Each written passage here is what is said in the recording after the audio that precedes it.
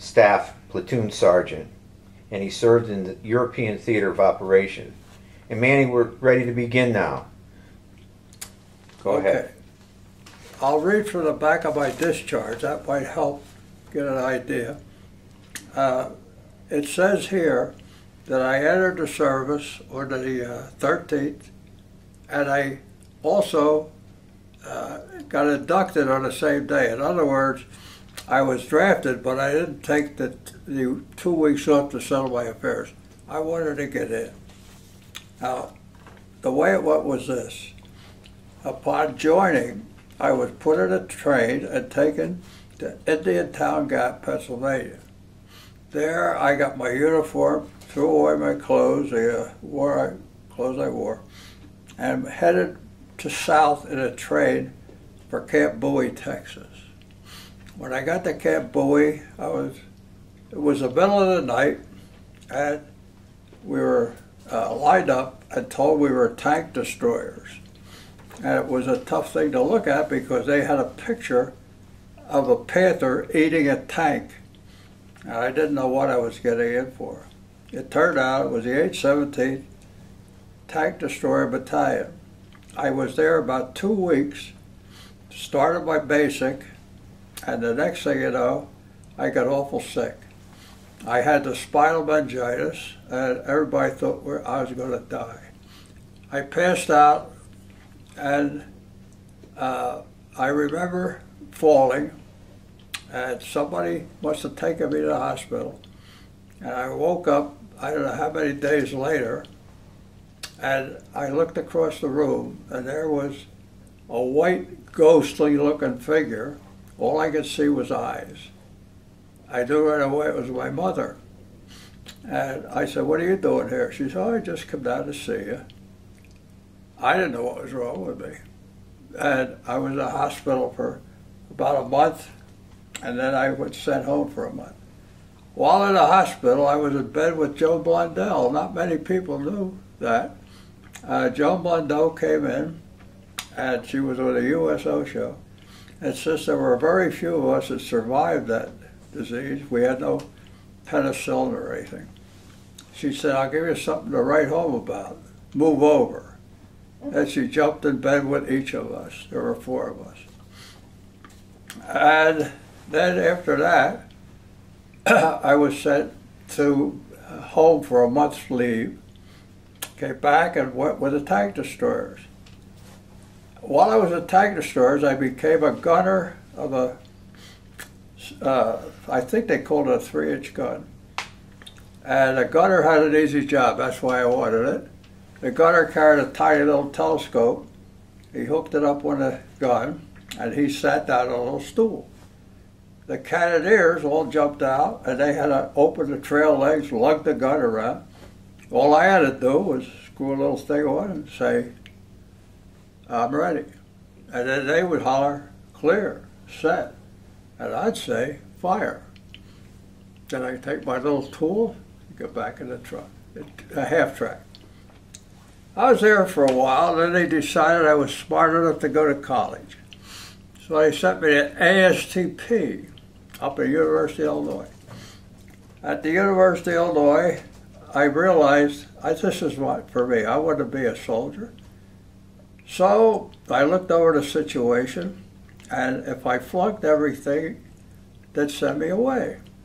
But I realized English I could use in my college, so I studied for English, passed that, flunked everything else. They threw me out, and I wound up with credit for English. And that's all I needed. I didn't need the physics or anything in the physical education field. From there, they sent me to Little Rock, Arkansas, where I became a member of the 278 tank, or excuse me, 278 Combat Engineers. And uh, I worked my way up to staff sergeant, and I liked the engineers very much because we did things constructively, and I liked the bu building of bridges. I, we were mainly a bridge building bunch and roads, and that's what we did in Europe. Uh, we learned to build Bailey bridges, wooden bridges, take care of roads that were falling apart, kept the uh, traffic moving from front to rear, and so forth. And we, and we did a lot of demolition. I like that. I became very proficient with uh, demolition material.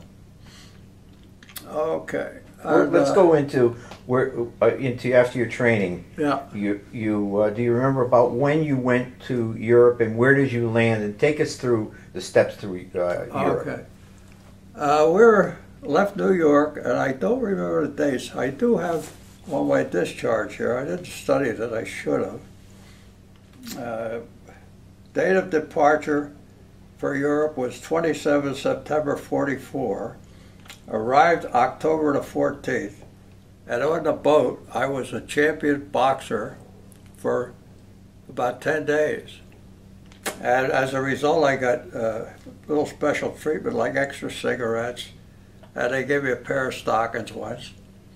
And uh, I could roam around where other fellows were pretty well. I could go to see the cooks and so forth. But anyway, uh, about one day out of Southampton, was, I thought was going to be my last fight, champion big shot, and they wheeled out a guy named Germano who was a professional. I didn't know it. I got knocked clean out, so that was the end of my career as a boxer. But we landed in Europe on uh, January 23rd. Well, no, no. Uh, October 10th, 44. How, how, how do you want to go? Uh, th- I'm in England now. Okay, talk about England a little bit. What, what you Okay. did over there? They sent us to a place called Swanage, England, which was a lovely little coastal town. And uh, the people were great. No central heating. This is something I never saw before. Every room had a fireplace. There was all kind of smoke coming out in the mornings if it was cold. It wasn't very cold much. And we did our usual running and uh, training and all while we were there. And at night we would go into town and uh, lingle, lingle, go to a bar. What do you call it? Pub. Yeah, pub. And would have a couple of brews with them, and they always were getting pints of everything, and their stuff was dark colored. Sing a lot of songs with the limeys, and uh, it was just nice. Now, a, a lunch there cost six shillings, and it was usually the same thing: a piece of toast loaded with baked beans. That was and tea. That's what you got for lunch usually if you went out to lunch. And we were there for, I would say, three, four weeks. Uh, I think, I don't know if I got any dates on that about when we left, but we left Swanage in convoy, went to a boat, and got on it at Southampton I went up to Rouen, France. And on this boat were some Al- Algerians, I think they were. Uh, they were, we didn't like them, and they would when they ate their dinner, they'd put a canvas on the floor of the boat and dump their food in the middle and eat with their hands. Uh, we still were eating out of mess kits. Uh, we also, when we landed in France, we landed at Rouen, where, uh, right where the boat parked, was the place they burned Joan, uh, Joan of Arc. And there was a big circular thing there. Nothing stood up straight, just a a round circle, and what they told us that's where she was burned. And a, a lot of French fellows came one early morning, it was still dark, and they gathered into a group, looked like about 40 of them, and when they talked, they sounded real strange. They all were talking at once. And it, we started calling them frogs, and that's what they looked like, a bunch of frogs. Okay, we got off the boat, got in convoy, took uh, a two-day trip across France and into Belgium. After we left Rouen, we went convoy two days to Hermal in Belgium. When we got there, the captain said, and that was Captain Smart, he said, we'll put the whole company in this little theater and then tomorrow night we'll do something else. So the whole company got in this theater and uh, we put a machine gunner out back. We didn't know what we were into. And we had watches the same, you know, guard duty. And we're sitting there, and it's about, oh, 10 at night.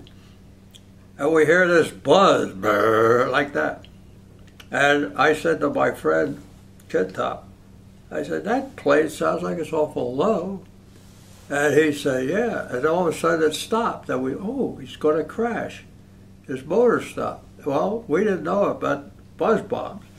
And this was a buzz bomb. And it just went over the place we were staying and went off about oh, three, four hundred yards behind the plane. And the ceiling of the theater come down, a good bit of it. You could see the stars. It was our first time we saw a buzz bomb. And then we found out Hermel was on the route from Germany to the coast, and they were trying to get coastal cities in Belgium, like Brussels. But they could also aim it at groups like us. But we got used to them. They were called buzz bombs, or V1s, they called them. And that was our first taste of uh, anybody getting shot at or something. So then, uh, the next night, this is interesting, I think. The next night, we decided we weren't going to stay at that theater, so we went into town, which is right in the whole street, and myself and a couple guys went into this uh, house, and a man and his wife were sitting over here, and we sat here with our rifles on our lap. I didn't know what he was going to do. He kept his mouth shut. She kept her mouth. So all night long we just sat there and looked at each other, and some guys dozed off. So after a while, we it became daylight, and we left. Nothing happened. So I went back the next night because it was a good place. Well, it turned out that they were a Louis Lewis family, and she became she called herself my mother in uh, Belgium, and she wrote my mother a lot. My mother wrote her, and I got letters in a stack here from her to my mother about. She told my mother about me, and that she would kiss me when I went when I left, like a motherly kiss. That's all in the letter. It's kind of cute. So my mother would send her packages of food and so forth. But the big thing there was they had a son named Joe, and he was about 15 or 16. And they were afraid, they were occupied for a while by the Germans. So they were afraid that Joe would be picked up and taken away. So they hid him in a hole in the barn, and they covered it with boards, and it looked like he wasn't there. At night, they would get him out and feed him and put him back. Well, they got to trust me enough to tell me about Joe. And we said, get him out because, you know, the Germans were pretty far gone. So out came Joe, nice young boy, about 17 years old, named Joe Lewis. You imagine that? Boxer. So anyway, he became pretty good friends, and my parents would send him, uh, he went to college, they'd send him some money and some books. And I guess if they were alive today, would still be corresponding, but they're not. They all died. I don't know about Joe. He might still be alive. Okay, from Hermel, we went to Aix-la-Chapelle, and that was a, another town on the way to Germany. And we worked out of there, going into the woods and uh, building roads and bridges we put up bridges pretty anywhere where we thought they needed them to get tanks back and forth and so forth. And uh, in that town, I lived in a monastery, which I brought pictures. And would eh, see, we had trucks. We could go right into frontline areas and come out, but uh, we didn't have to stay up there like the infantry. So we could always have a place to come back to where the motor pool was and stuff. Anyway, we go to this, we're the bar a lot. We used to go to whatever bar was available. We like to listen to their trios, which was a bass drum, or a drum, usually a violin and an accordion. And there was a woman there, she looked to be about 30, and she told us that she worked in Aachen for the Germans when they were there. Uh, what'd you do? Oh, I was sabotage. I, what's sabotage? Turned out that's sabotage. And she was making uniforms for the German army, and her sabotage was to cut the seat out of the pants of the uniforms and box them and send them off. That was, that was what she did. Okay. So now we really haven't had much getting shot at. That area where we were in was very quiet. We could ride well into the uh, Hurtgen Forest and come out again and do things, anything we wanted. And then one day, we go, every morning we used to go to headquarters, get a situation, how far could we go, or what, so forth. The place we were yesterday was occupied by the Germans about 20 miles in toward us. And this was the start of the bulge. So we were immediately had to go into a mode of getting bridges up and getting roads clean for retreating troops. And it started to snow, and it snowed continually for a long time. And they used to, as we would go past the cemetery out of uh, where we were stationed, we could see the trucks come in with the bodies. And that made me feel awful sad because it come in a dump truck dump them out, and then they had grave guys that would take a little hammer, and if they froze in a funny position, they'd hit the, straighten them out and stick them in a bag. And, but they were very careful how they buried them, and they had a dog tag on the cross so everybody know who was who. Well, uh, Christmas came during that period. This is what Kathleen likes to hear me tell about and Overby was bound and determined to get us a hot meal while we were on the job. So we're out there working, and uh, here comes the truck with a kitchen in it, and we're going to have a hot Christmas dinner in the snow. So we're working, here comes Overby, we get our dinner, we're all getting ready to eat, and we hear brrr, and it's an airplane, but we can't see it. And we didn't know what, what it was. So anyway, over a hill comes this Messerschmitt, and he wiggles his wings, and he's flying about treetop level, and we hit the dirt with our brand new Christmas dinner spread all over. Now Overby had just left, and he was about, well, I'd say, a couple hundred yards down the road when that plane came over. And he realized what happened, so he turns his truck around. We got another chicken Christmas dinner. And that was the end of that one. But I thought that was a funny Christmas. All right, now, next, where we go? We, we, went, we worked our way across from the Aachen to Cologne, and then along the river, bar, uh, bridge that uh, we captured called Remagen. And uh, we, our outfit didn't capture it, but we, there's where we were going to make our crossing. And in the papers, it told us about the Remagen Bridge. Our job was to bridge the Rhine with floating, uh, a floating ponton bridge, and that we could do in about a day. And the rides are pretty wide there. So uh, our job was one of the companies uh, of the battalions had to build the bridge. They had a lot of guys different outfits working on it. And they did build a bridge overnight, which could take tanks. Our job was a net above the bridges to keep the uh, bed, we thought, and floating stuff coming out down the river. Uh, we did, we built it. Well, I was left in charge of it. One night, uh, every night they used to thing called bed check Charlie. Excuse me. And he'd fly over, cut his engines, and he'd glide and start shooting at the bridges, trying to blow them up with his guns. and we would fire back. And in a letter I, that I'm giving Bobby, it'll tell about that. It looked like fireworks. There was so many.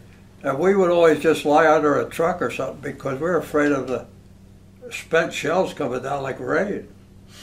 So uh, it was kind of touch and go. And we, as we built it, we lost a couple of guys because of uh, problems with the net. They got caught on it and everything. And the next thing you know, it was across, everything was mo- moving smoothly. And I was left in charge one night of the net with a bulldoze driver and a couple of soldiers.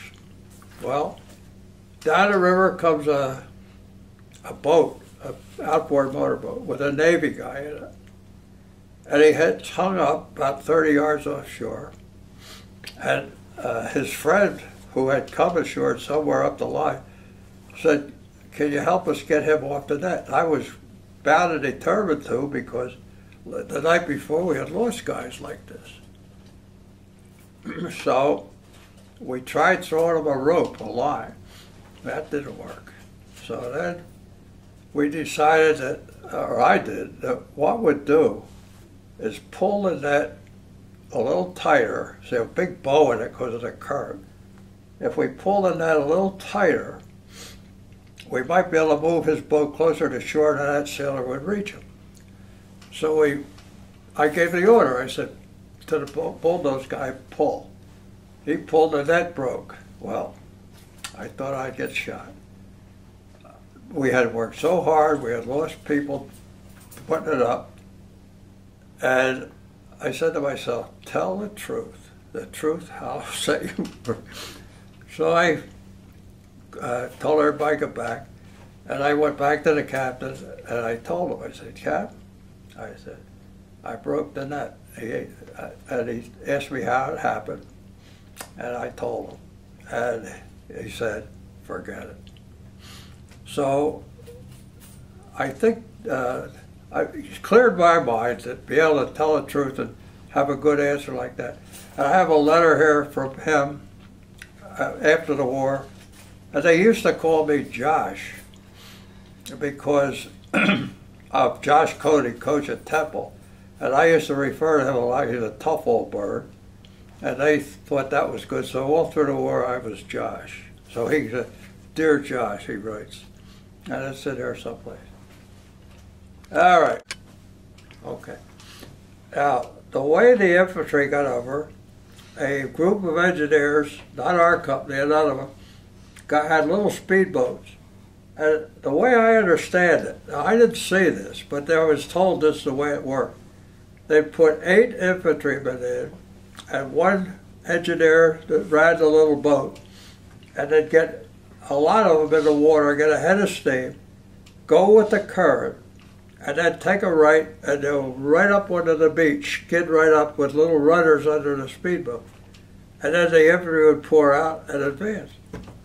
And this is the story I was told.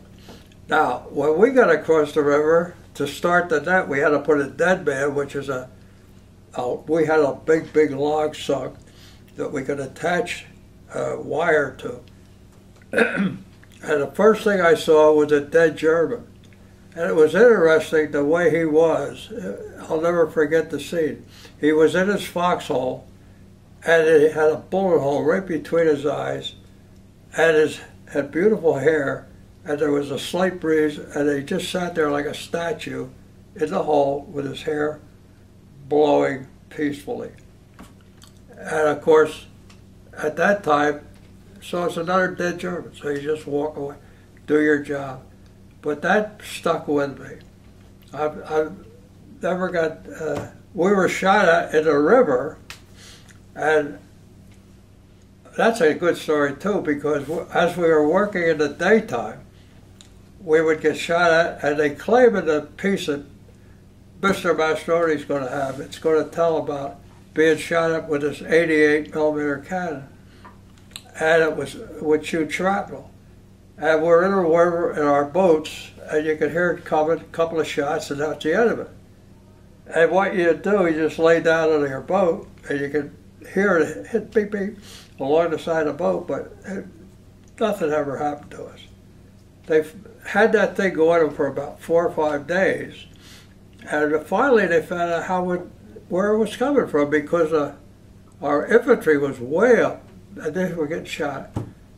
The Germans had left a spotter along the river, and they had a uh, 88 millimeter cannon in a garage in a little town across the river. And what they'd do when the spotter planes were not working, they'd wheel it out, take a couple shots, put it back in the garage. So nobody could spot the thing. So finally they did get it. That settled that issue. So anyway, that's just a little sideline. Uh, I think it'd be interesting to tell you now the real battling is over. As soon as you went to Germany, although it says it's a battle, it was a cakewalk. There was hardly any resistance at all. And the German people, as I was telling Mr. Mastroianni, there was no uh, Nazis either. Nobody was a Nazi. Everyone you talked to, they they told you how great the Americans were, and they were glad you were here. And uh, one guy I can remember in broken English said that we were lied to by the uh, German radio. They said you you could never get here because you run out of gas. He said the first thing you do when you come in town is you take a can, 55 gallon drum type of thing, throw some water and dump gasoline in it to start your fire. And every one of you is running around with rubber at the bottom of your shoes. They told you run out of rubber for your tires. so they like, well, anyway, that was fun. And we met fellows who would say, uh, get a Nazi flag, great big Nazi flag, swastika, put it on the floor and, and jump on it. That's what I think of the Nazis. But what did he have that big Nazi flag in his house for anyway? So that's the way it was. And every place you went, into a town, our group anyway, most of every, there'd be white sheets hanging out the window like surrender. And it was all over. And that's when we got to meet up with these war criminal guys that ran slave labor. And it was the way they, the one outfit I saw was it was a factory, and in the factory were many, many lathes. I don't know what they did made, but probably something for the war effort. And then on the walls of this factory were stacks of bunks about six high, and that's where they kept the men that they. Uh, I don't know where they got them. They might have been soldiers, I doubt. They might have been civilians they captured, and they worked there on these lathes. They slept there, they ate there. And to go to the bathroom, they had a hole in the wall. They had an out back and sat on a board, and that was their bathroom. And we got the guys that uh, were running the place, and we made them uh, show us all what they did. And they had a series of cement bubbles, which had to crawl underground from one to the other. And if you were bad, they would put you in there and you have to find an empty bubble. And you'd sit in it, and then they'd feed you through a crack. And that's the way they punished bad guys, I guess. And we had all these men, they were in their 40s and 50s, that had run the place. And this is just about near the end of the war. And uh, Dutch soldiers were in charge of them, and Dutch hated the Germans. They'd do all kind of mean things to them because the Germans were awful bad to the Dutch.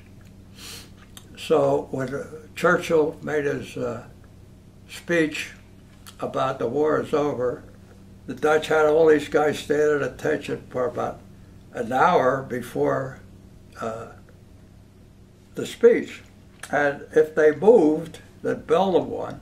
And if they did something bad, they liked to pull their ears, yank down on their ears. And, and uh, I saw the, a guy fell over, let him lay. There you go. Uh, I thought if they're all smart, they'll all fall down and let them lay there instead of have to stand up. But they stood at attention and listened to Churchill's speech about the war was over. And let's see. Uh, there's other stuff that I keep forgetting. But I think I covered most of it. So, where were you when the war was over, and what, and what do you remember specifically? Oh, you might like, see, when the war was over, the fun began. It really did. I became like a tourist. And they sent us to uh, rest areas and things like that. And at one point, they said, How would you like to go on vacation for a week or two? Oh, that's fine. So they give me a pass and sent me to the airport in Frankfurt, Germany. I get there, there's a couple hundred guys sitting around. And the idea was you got a number. And they uh, were, they were going to fly us out of there in uh, planes that did D-Day. Uh, I think it's C-47s. And the idea was whichever group you're in, that's where you're going. Some guys went to Austria, Innsbruck, some went to London, they went all over. I was lucky, I got to Nice, France. So I get in the airplane, and it, where the paratroopers sat, that's where we sat. And the uh, guy that was flying the plane came back and says, How do you want to go, through the Alps or around them? All of us. Which is faster? He said, Through the Alps.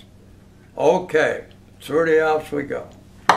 Well, they shut the airplane door, took an old coat hanger, and wrapped it around the handles so the door wouldn't fly open, and off we go. Well, if you ever flew through the Alps, you don't fly over them, you fly through them. So, in this airplane. So we're going through the Alp Mountains, right like this and that. Oh, jeez. You look out the window one minute, you'll be in the sky, next minute there's a mountain here. So we're coming home, guy says, how do you want to go? Alps are around. no more through. But while we were there, they gave us clean uniforms, and somewhere in this stuff Bobby's going to get, you'll see my scorecards. I played golf, I went fishing, I went drinking every night, I went to the beach. And by the way, I think that's where the bikini came from. It may have come from there or wherever else, but the girls didn't have bathing suits, so what they were getting was our GI uh, khaki towels, and they'd cut them up and make little shorts and little tops, and that's what they were using for bathing suits, most of them. And uh, when we were in Heidelberg, the girls uh, were using anything. We said we had a we took the town hall of Heidelberg and made it into an NCO club. And we told the girls, if you want to come, you got to be formal. We're not messing around with any cheapskate. You got to be dressed. And then they would put on curtains or anything they had, uh, you know, to make it look like a long dress. And then they'd line up outside of the place, and you'd uh, go along. You want to go? Well, you'll be my date tonight. We'd take them in the town hall, and we had a regular. We had a big name band that Germans made up. We had it made. It was called the Non-Commissioned Officers Club, and it was just what we had big acts from all around Europe. Guys tightrope walking, and everything. And I took. Finally, I got a girl there I liked, so I took her in a air. I could get the air compressor easier than I could anything else. So I had this air compressor go pick her up, take her to the dance. And I was telling Kathleen coming over, the saddest thing I ever saw while I was in Heidelberg. Well, two sad things. One was uh, we had a bunch of Germans working for us. Uh, they were out on the stringers, which are the things below the bridge that before you put the top on. And they were cutting small boards with a, a buzzsaw that air compressor ran.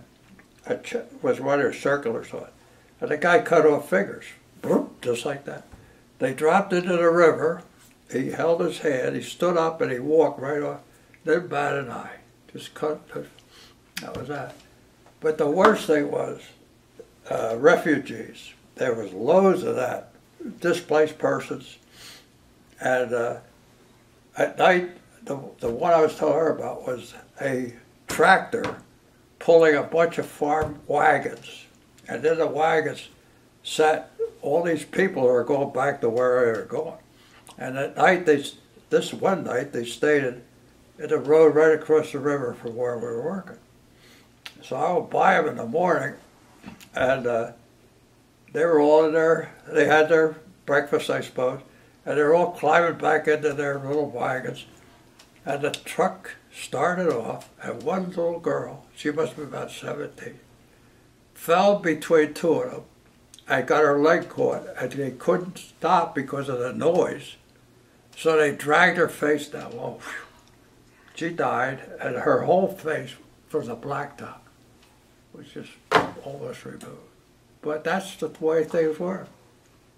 That too bad, but she's dead, and that was sad. All right. After the war, our outfit was told we could uh, help clear the Rhine River for boat traffic.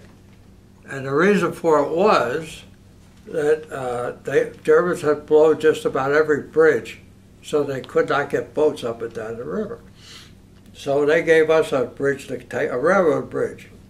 And uh, they gave my platoon uh, that job to move that bridge. So we got a half a dozen bulldozers, and we rigged up, uh, cut the bridge here, and we rigged up a uh, mechanical advantage of about six or eight, I forget which. And we started to pull with the bulldozers. Well, the bridge didn't move, but the bulldozers sunk in the ground. So that was no good. So step two, the captain said, why don't we try to blow it up? And the parts would go in the, in the Rhine and they could flow over them. That's a good idea. So what we did, we got a sea and we uh, put tons of TNT in what they called uh, sea square things like a landing block and put, dropped it right down into the water in the bridge. And the idea was you'd take a 55 gallon drum, load it with TNT, but this didn't happen until after we thought we were going to blow it up like this with a plunger. Well, they uh, told all the women in town to uh, take their dishes off the shelves. This big explosion is going to happen. And they had the Pathé News, and they had everybody waiting to see this big of explosion. Result was, we pushed down, nothing happened. Oh, they all laughed and they all left, and there's the bridge sitting out there, with all this explosive in it. So the captain smart says to me, he says, you keep your platoon here. He said, we'll send all the uh, explosive you want. And he said, uh, you see if you can blow it up. Well, for two weeks, we put loads of 55 gallon drums with, loaded with TNT, had a sea would go up to the drop point, light the fuse, drop it in, and beat it downstream. And boom, you see a little boom. And it got to be routine, but we had a lot of explosives. So we were there about two weeks. Finally, one day it hit. And we didn't expect it, neither did anybody else. Well, what an explosion that was. And the result was that the ladies' dishes did fall off the shelves, but we were done and the river became navigable. That's a good story. I can't think of anything else. But I, I'll tell you, I was no World War hero, but I did have a lot of experiences I'm glad I had. And it was worth worthwhile.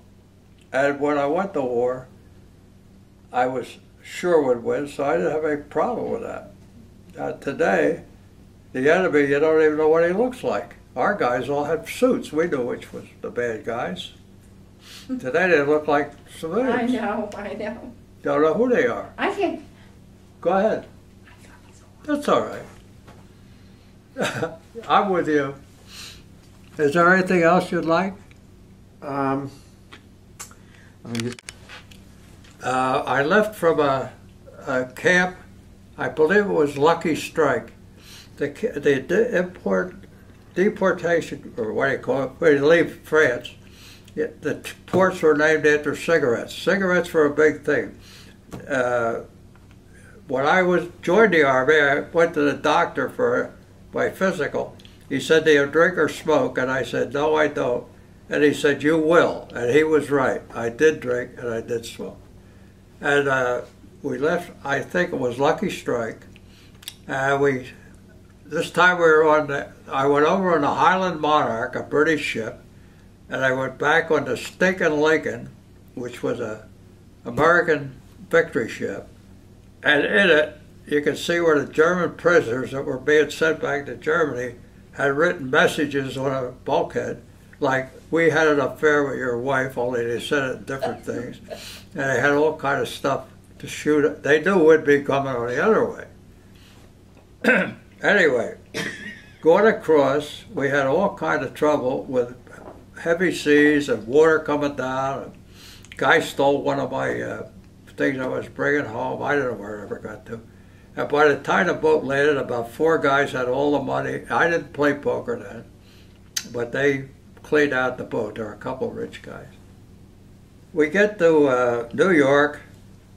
There's a thing called Ambrose Light. Well, we saw that. They said, that's Ambrose Light. Next stop, you're going to see a Statue of Liberty, and we'll be home. Okay, we get off the thing. They stick us on a train, and we go to Indiantown Gap, the same place I enlisted or went in. And I uh, told my parents, I'll be home by my birthday, and it was my birthday is when I got home, 28th January, 46. And I told keep the Christmas tree up because I want to see it. So we, we always had a little Christmas tree. So when I get home, there is a box for me, and what it is is shoes. I finally get out of my army boots, and I sit down with a plunk to put them on, and every needle fell off that tree. we had nothing but a bare tree, but it was a great homecoming. It was. Uh, then I, I wore out my uh, army pants because I didn't buy new ones for a while, and. Uh, I still got my jacket I wore at home, and it doesn't fit anymore, of course. I was built different then. And that was fun. Anyway, that's what happened Christmas. And that was when I got home. And they were the days when taxi cab rides were peanuts. You could take them just like a, a bus. I said, North Philly Station home, I think was about a buck and a half. Now it would be about 50 bucks. So there you go.